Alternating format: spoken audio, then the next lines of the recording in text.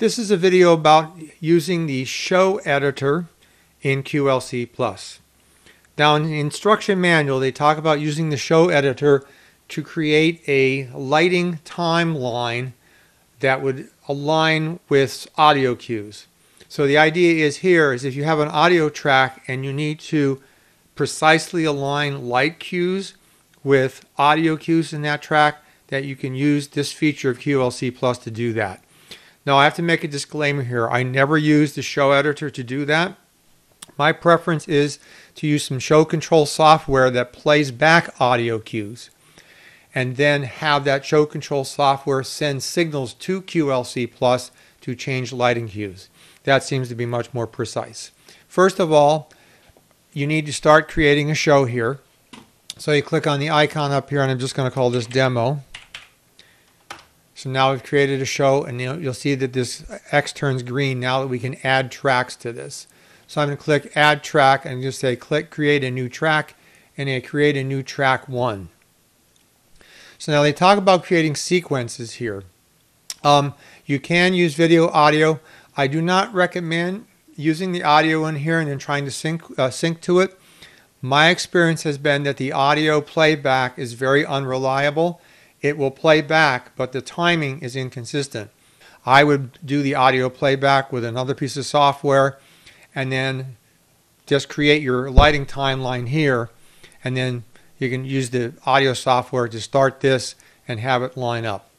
Okay, so anyway, let's get some lighting in here. I'm going to click on the sequence button. When I click on the sequence button, it gives me a choice. Uh, I'm going to say I'm going to be using my front of house lights in this particular sequence. I'm going to go to all fixtures. I recommend when you're doing this, use the all fixtures and not the channels groups. The channels groups thing's been somewhat glitchy for me. So what we do is we add a step and then we determine what lights are going to be on during that step. So I'm going to say front of house 1 comes on. I add another step. I add front of house 2. I add another step. I add front of house 3. I add another step and I add front of house 4. So as I click through here, you can see how I'm adding lights to the various steps. There's no timing. I'm just to make this quick, I'm going to go common and just say that I want this a one second duration. Notice when I clicked on duration, now this opens it up to be four seconds long, this particular sequence. So we've actually created a sequence with the front of house lights here. I can see what the steps look like. The best way to take a look at this, again, I found that when I bring up the DMX monitor, it doesn't accurately reflect. As you can see as I'm clicking through there, this accurately reflects what's going on. The DMX monitor does not. It's sticking with, DMX monitor is sticking with my last set of sliders that I moved, which when I moved all four up. And just a little caution here too. Be careful when you're on steps. If you move things up, you may actually accidentally edit that step. So if I'm on this step and I move some sliders over here, I can accidentally edit this step. The best way to take a look and see if this is doing what you want to do is click in the gray area. I'm going to click stop. It takes us back to the beginning. I'll click play and we can see what's actually happening here. One, two, three, four. Okay, if I go back and I click edit now, I can go back in and edit and adjust faders or adjust timing at this point. All right, now let's say that I want to go back to my timeline here and I want to put in using these same lights that I used for this sequence and this is another feature of this um, show editor. I'm basically in this first track just going to be controlling my front of house lights. You can force other lights into the setup later, but then it kind of messes up everything back here and you'll find yourself going in and correcting. So you kind of have to have a plan ahead of time what lights you want to use on what tracks. Otherwise, this gets kind of very confusing and you get unexpected results. But anyway, if I click at the five second spot here and say I want to create another sequence, notice that it brings up the same four lights. It doesn't give me a, uh, a choice of lights. So this time I'm going to do the same four lights, but I'm going to do backwards. Notice that it brought up the last setting that I used. So I'm going to pull these three out and I just want this light on. I'm going to add another step. I'll add my second light.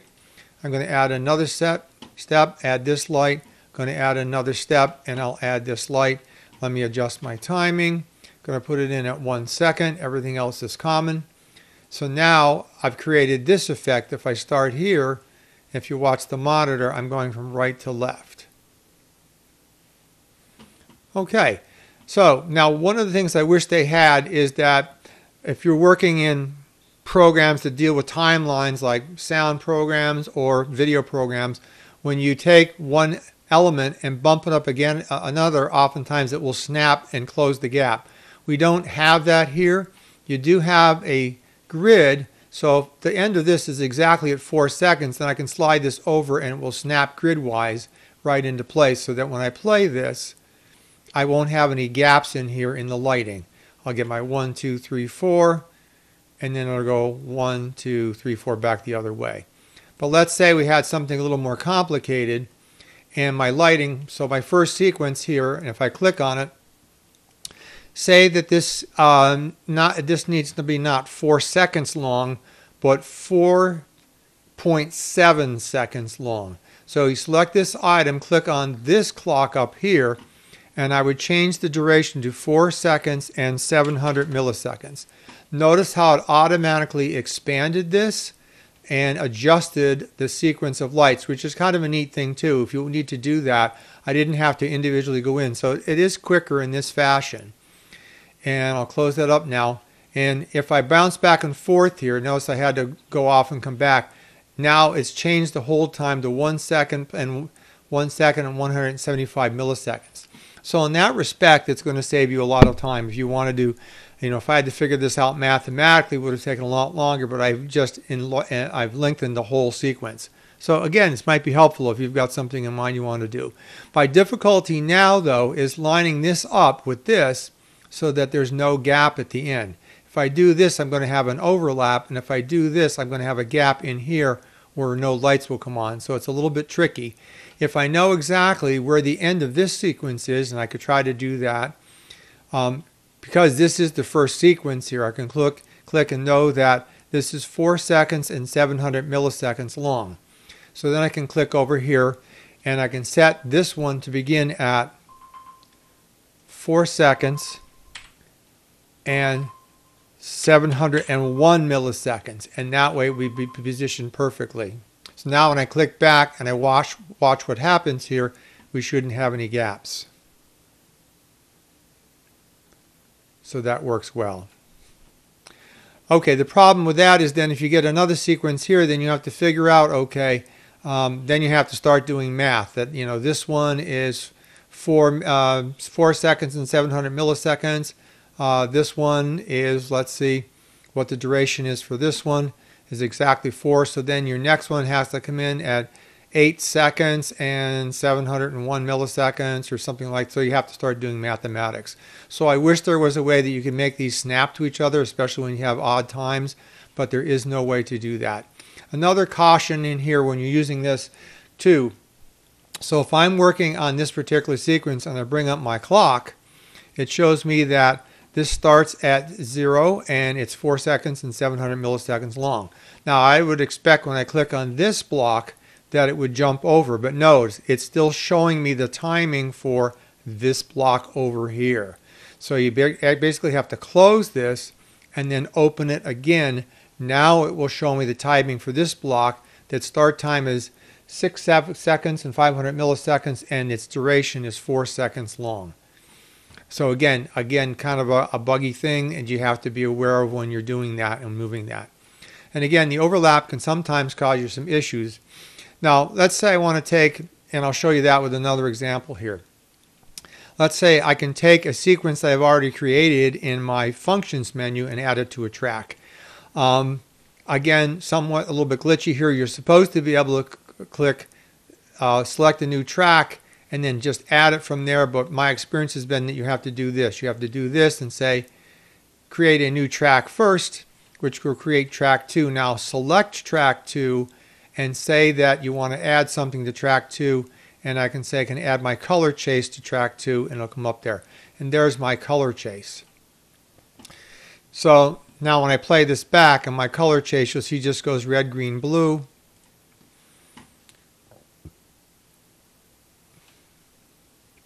Uh, and the problem with that is And by the way, it's kind of a neat feature here. If I want to just look at certain lighting, and this is helpful too, I can mute this particular track so that the lighting won't come up and I can just look at my color chase track if I so choose to do that. So this time you see playback, it'll just show me my color chase. But to give you an example about this, so say I do this and I want to make a copy of this. So I'll do I'll do this, make a copy of that and say I want to I'll just paste it here for the time being. My color chase, so I have two separate color chases. If I slide this back and they overlap, remember I had red here and blue here, so red and blue makes pink. If I overlap this a little bit, you're going to see what happens is that I get, you'll see red, green, blue, and then it'll go to pink, and then it'll come out of there because of the overlap. And if you watch on my monitor here, you'll see that happening.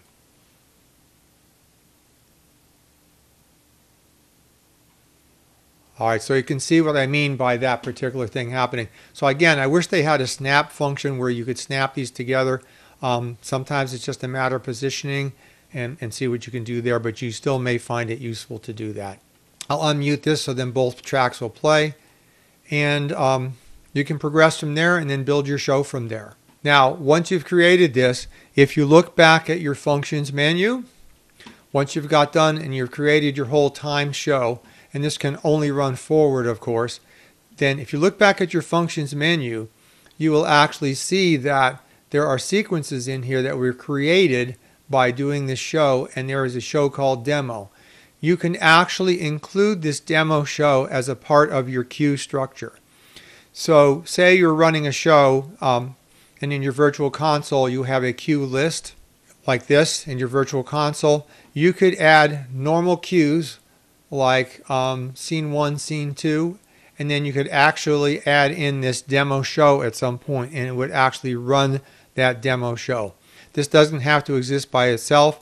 It can be part of an overall cue structure. So that's a possibility too. If you were doing a general theatrical show you had general light cues, but there, there's some point in the show where you want to run like a time structure that may be like a, a one minute sequence, you could possibly use this to create the sequence and then add that show into your cue structure and it'll actually play that back for you. This may be a little bit glitchy, but you may find something in here that may help you to create your production.